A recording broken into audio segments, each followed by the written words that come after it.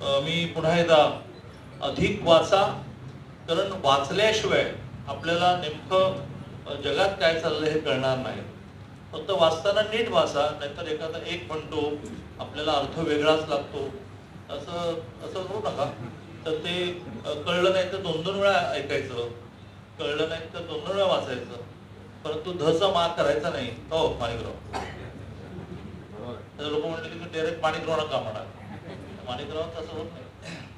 तर वाचा खूप विचारपूर्वक वाचा त्याचं मनन करा त्याची चर्चा करा आणि अधिकाधिक जगातलं नॉलेज तर तुम्ही किती टी व्ही बी व्ही पाहिले नेटबीट पाहिलं ना माझा तरी अनुभव असेल की त्या स्क्रीनवर काही मला एवढं जमतच पण ते प्रिंट काढून ते मग बघतो काय करू आता आम्ही जरा जुन्या पिढीतल्या होते खरंय परंतु नवीन पिढीला सुद्धा समोर काही असेल मग त्याला वाचायचं असेल तर मग स्क्रीन मोठा लागतो जर त्याला पण हे सगळ्यात परंपरागत माध्यम आहे.